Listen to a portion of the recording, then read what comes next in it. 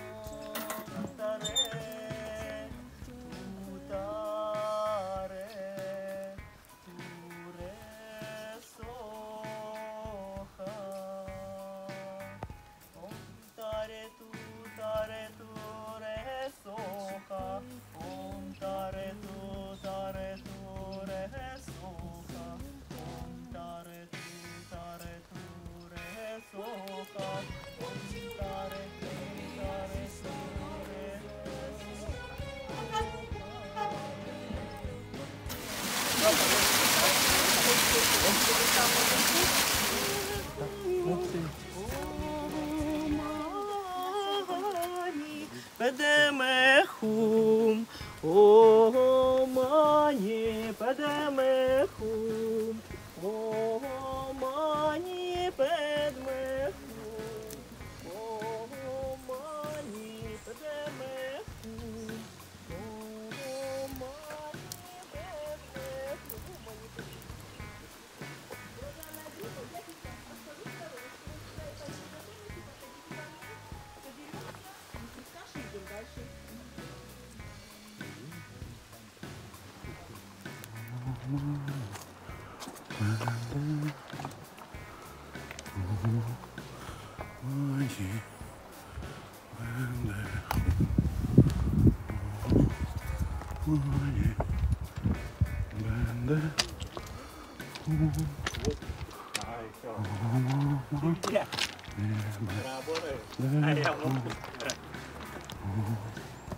Ворота. Все вместе, храм, ворота. Ну, первое название этого места очень простое и показательное. Гора с дырой. Но все верно, вот она гора, вот она дыра. Это арка естественного происхождения. Была она создана путем выветривания, вымывания, дождь, осадки, ветер, снег создали. Это чудо природы. И вправду чудо. Люди, приходя сюда, даже тысячи лет назад какая сила всех больше впечатляет людей? Конечно же, сила исцеления. И люди даже неизлечимо больные приходили сюда, но с большой верой проходили через эту арку и в времени исцелялись. И пришла слава этому месту, как целебному, священному, как храму. И даже в эпоху бронзы, это 2-3 тысячи лет назад, храм ворот уже почитались людьми как святыня, о чем свидетельствуют рисунки, оставшиеся с тех времен. Вот здесь вот сбоку можно увидеть буроватые, видите, не белые, а буроватые палочки, крестики, что-то похожее на животных. На той стороне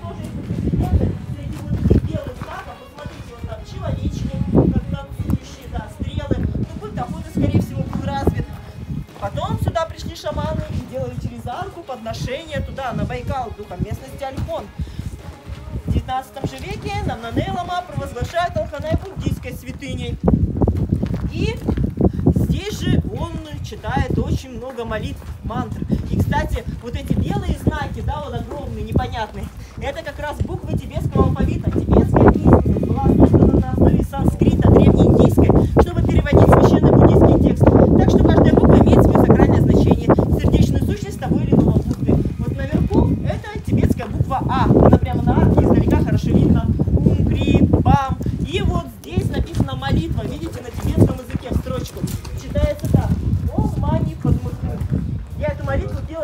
сделали гору вокруг каменной часовни.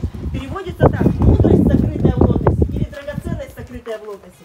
Это молитва великого сострадания, а сострадание является основой учения. Без сострадания Буддой вообще не станешь. И нам Намнадре Лама здесь прочитал эту молитву миллионы-миллионы раз, делал многочисленные простирания, постился. И то, что его молитва о сострадании была услышана, она сама проявилась из камней, то есть не нарисована, не выдолбленная, а самопроявленное чудо молитвы произошло, и Лама один Датсана ежегодно вот вместе вот в этом чудесном читают большой ритуал. Он называется Алханын Сакшот. Алханын, понятно, алханайский, а Сакшот это подношение. И вот когда шли, видели вон там внизу такие вот столики, лавочки, это как раз для лам. Они на 25-й лунный день первого летнего месяца, это в начале лета, там читают молебен, а здесь на каждом камушке есть со своими подношениями. Здесь большой буддийский праздник. Считайте фестиваль, много народу в этот день собирается. Здесь же и Далай-Лама 14 в 91 году, как раз по аркой храм ворот, читал молебен ритуал, освещая это место, подтверждая, что она одна из величайших буддийских. Но он сказал, что она подвержена загрязнению и что нужно.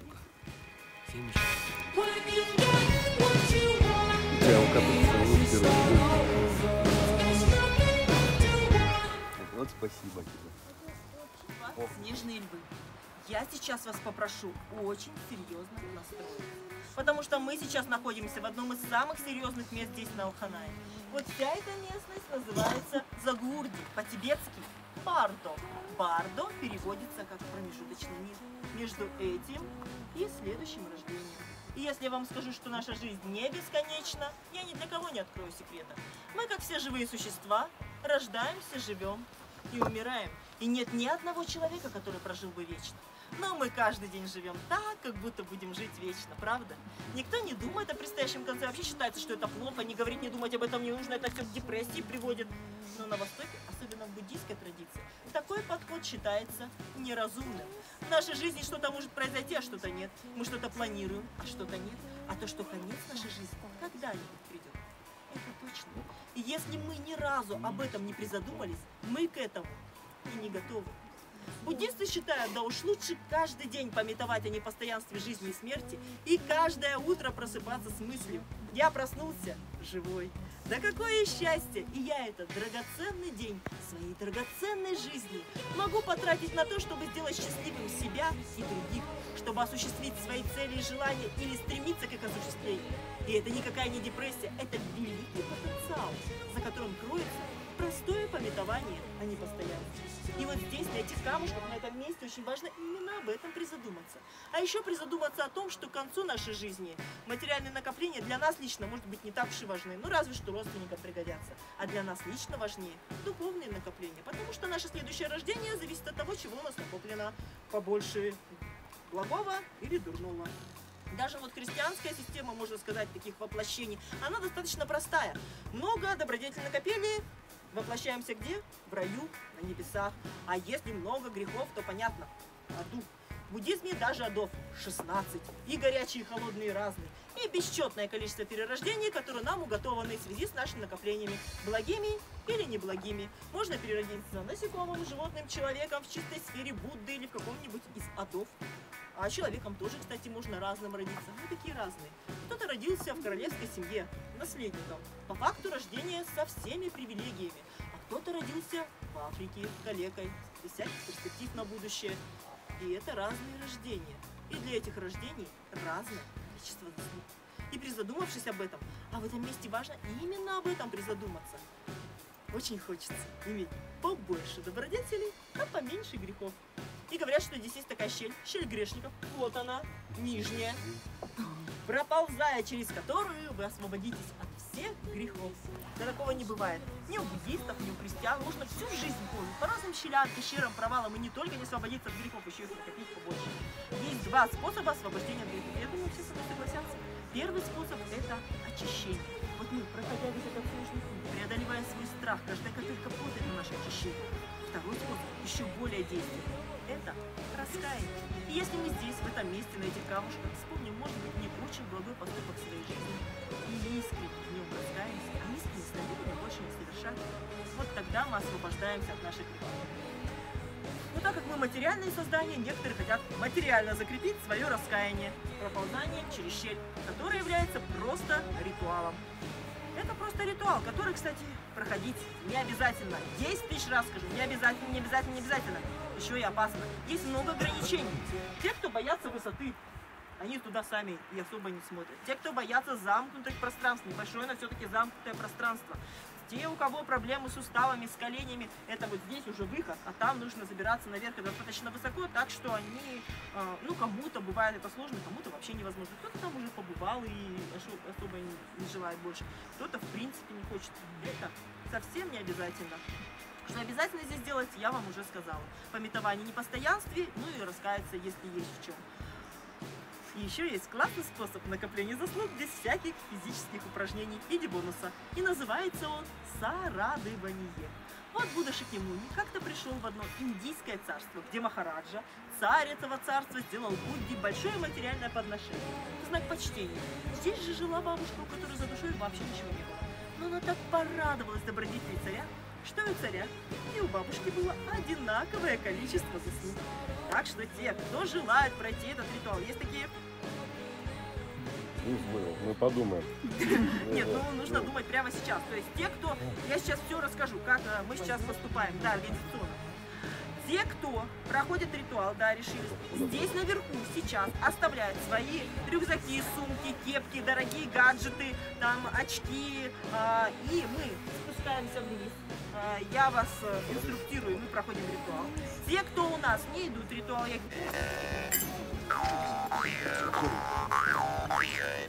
Безгрешный. Или грешный еще.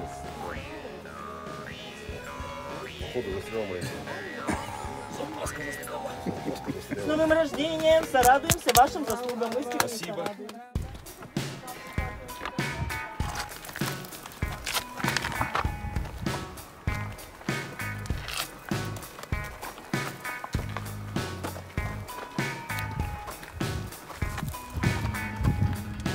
Boop, boop.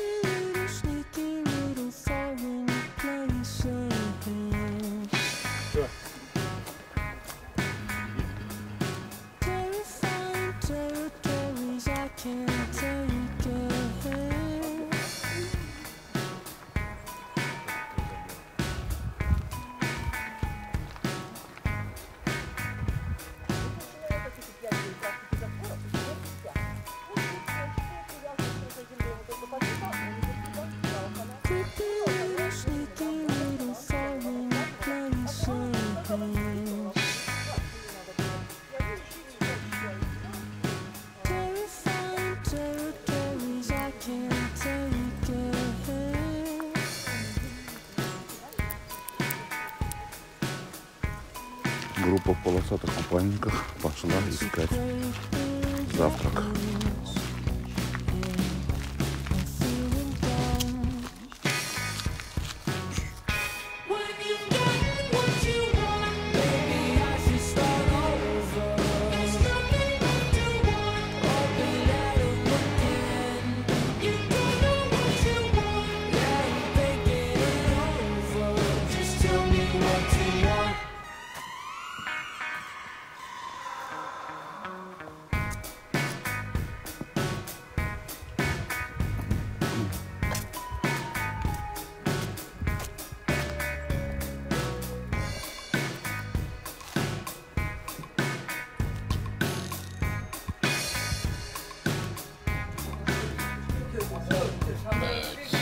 Коля...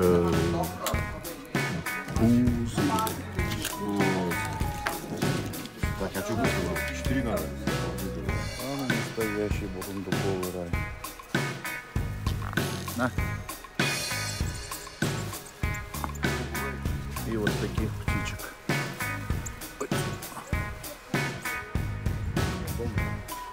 Шился. Так неплохо. Я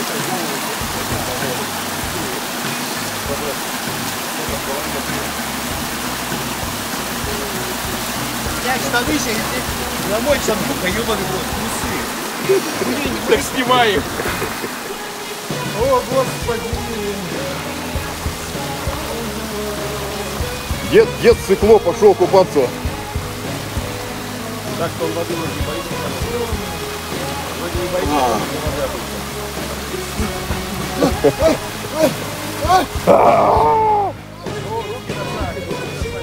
Руки, руки вот так делай.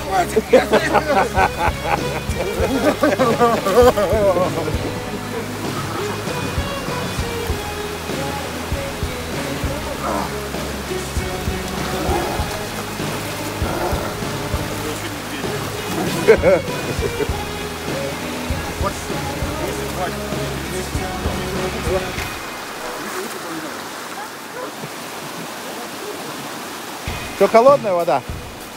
Теплая. Однако.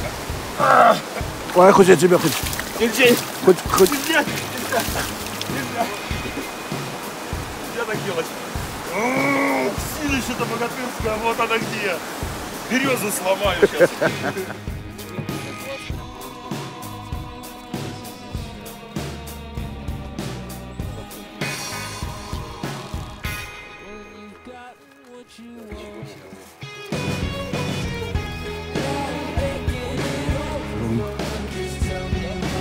Ванны. Хана. Бундуковый рай.